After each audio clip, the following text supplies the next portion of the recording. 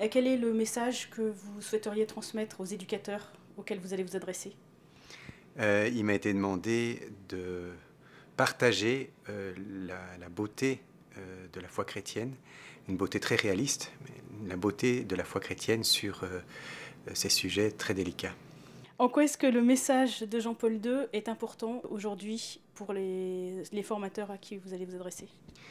Je pense que l'enseignement euh, de Karol Wojtyla et de, donc de Jean-Paul II euh, pas simplement un enseignement du passé, mais un enseignement qui a plein d'avenir, qui est porteur de toute une anthropologie extrêmement riche et extrêmement belle, euh, incarnée aussi très, très présente à travers ses catéchèses du mercredi notamment.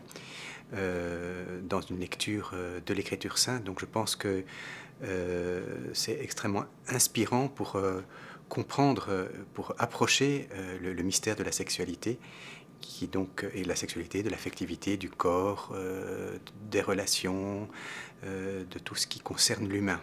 Jean-Paul II était un très grand, un très grand humaniste et un très grand, un très grand chrétien évidemment.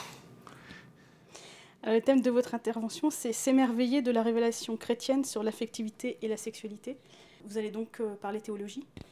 Oui, c'est ce qui m'a été demandé, c'est le titre qui m'a été euh, donné. Donc, dans un premier temps, je vais essayer de montrer à quel point la théologie chrétienne est une théologie de l'incarnation, du corps, non pas du mépris du corps, mais au contraire de, son, de, de le mettre à sa juste place, euh, Jean-Paul II parlait du, corps comme sacrement de la personne, quelque chose de très fort, hein, le corps comme sacrement de la personne.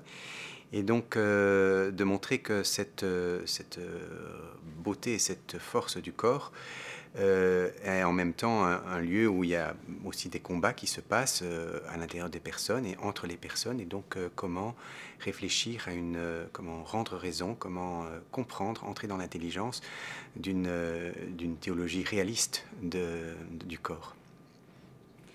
Vous avez aussi beaucoup écrit sur, euh, pour les enfants et pour les familles. Euh, est-ce que c'est aussi un prolongement de, de cette théologie?